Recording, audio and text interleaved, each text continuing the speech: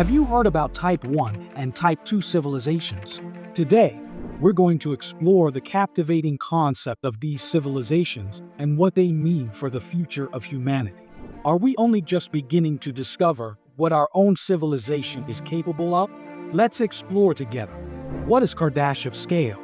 Before we dive into the specifics of Type 1 and Type 2 civilizations, let's take a moment to familiarize ourselves with the Kardashev scale. Imagine it as a celestial ruler, measuring a civilization's ability to master energy. This scale spans levels 1 to 5, measuring technological advancement and energy utilization. As we ascend this scale, civilizations progress from mastering their home planets to reaching for the stars themselves. The Kardashev scale is a simple yet powerful way to determine the technological advancement of civilization. Let's have a brief overview of the division of the civilizations according to the Kardashev scale. Type 1. First, we have Type 1 that can harness all the energy on their home planet solar, wind, geothermal, etc. Roughly equivalent to Earth's current solar energy intake, and comes on level 1 on the scale which means minimum energy generation of 10-16 watts. At this level, a civilization gains complete control over the energy falling on its planet from the parent star. This allows manipulation of nature, influencing rain patterns and even storms. Type 2. Moving on to Type 2 that can harness all the energy of their host star, about the total output of our Sun. Imagine giant structures like Dyson spheres capturing that power and lies on level 2 on the scale. That means energy generation of approximately 1026 watts. Type 3.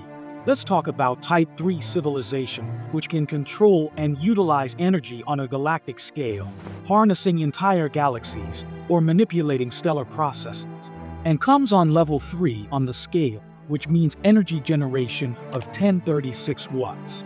This advanced civilization harnesses energy not only from its parent star, but from all stars in the galaxy. It achieves technological breakthroughs, including interstellar travel, cybernetic organisms, and quantum teleportation. This is truly mind-blowing stuff. So what's the key point? More energy control equal higher tech level in this framework. Type 1 civilization. Now let's get into the details as in this exploration. We are having a closer look at Type 1 and Type 2 civilizations. Our cosmic exploration begins with the Type 1 civilization, often referred to as a planetary civilization. Envision a society that can harness and control all the diverse energy resources available on its home planet. This includes geothermal, hydro, wind, solar, and even fossil fuel-based energy sources. The energy consumption of a Type 1 civilization aligns with the total energy received from its parent star, painting a picture of a united world harmoniously utilizing its resources. The universe is filled with incredible galaxies, each containing billions of stars. Could some of these be the cradles of advanced civilizations? Find out in our next video, the 10 largest galaxies revealed the transition to Type 1. As of now, Earth is not classified as a Type 1 civilization on the Kardashev scale. In the 21st century, we find ourselves at the threshold of this transition, with ongoing efforts to adopt more sustainable and efficient energy sources. This journey involves addressing geopolitical challenges, environmental concerns, and fostering global unity essential elements in our evolution toward becoming a Type 1 civilization. Type 2 civilization. Let's set our sights on the Type 2 civilization, the stellar civilization. Envision a society equipped with the capacity to harness and manipulate the energy output of an entire star. This civilization's prowess extends to the construction of monumental structures, such as the Dyson Sphere, a hypothetical megastructure designed to encapsulate a star and harvest its boundless energy, the Dyson Sphere. But wait, before switching the gears, do you know what the Dyson Sphere is? Imagine a giant bubble built around the sun, like a super mega solar panel. This bubble, called a Dyson Sphere, would collect all the sun's energy, giving the people inside endless power. It's like giving your phone a battery that lasts forever. It would be huge, the size of Earth's whole orbit, but super thin and light, like a giant cobweb. Building it would be super hard. But if we did, imagine what we could do. Power cities on other planets, zoom around space like jets, maybe even grow plants under the bubble if it gets too cold outside. And here the question arises, what is the need for this notion? The answer is simple. It helps to understand the Kardashev scale in a better way. Let's find out how. Talking about level 1 is like using all the power on Earth. Imagine giant windmills and solar panels everywhere. And level 2 is way cooler. It's like having a giant bubble around the sun, sucking up all its energy. That's the Dyson sphere. It's like having the most giant battery ever for your galactic spaceship. Understanding the Dyson sphere helps us see the huge difference between using Earth's energy and having all the sun's power. It shows how much more advanced level 2 civilizations must be, able to build megastructures we can only dream of.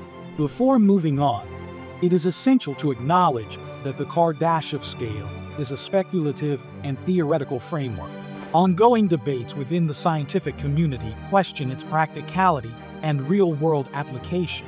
Nonetheless, the scale serves as a compelling tool for contemplating the potential development and progress of advanced extraterrestrial civilizations. The search for extraterrestrial intelligence, considering the implications of Type 1 and Type 2 civilizations, brings us to the search for extraterrestrial intelligence. Could there be advanced societies out there already mastering the energy of their stars? The cosmos becomes a vast canvas where the possibilities are as endless as the galaxies themselves. The search for extraterrestrial intelligence gains new dimensions when we consider the potential diversity of civilizations in the universe. As we wrap up our cosmic exploration, it's evident that Type 1 and Type 2 civilizations push the boundaries of our understanding. From planetary mastery to stellar dominion, these concepts offer a glimpse into the limitless possibilities that await advanced societies in the cosmos. If the Cosmic Odyssey has sparked your curiosity, don't forget to hit the like button. Subscribe to Mars 666 for more cosmic revelations, and ring that notification bell to stay tuned. Share your thoughts in the comments. Do you believe Earth is on the path to becoming a Type 1 civilization? Or do the mysteries of the cosmos still elude us? Until our next cosmic rendezvous, stay fascinated, stay curious. May the wonders of the cosmos continue to ignite our quest for knowledge.